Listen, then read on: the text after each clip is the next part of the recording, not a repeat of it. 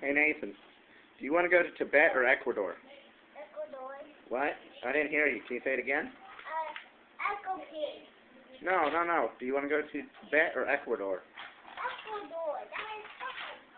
Oh, okay. I just wanted to make sure.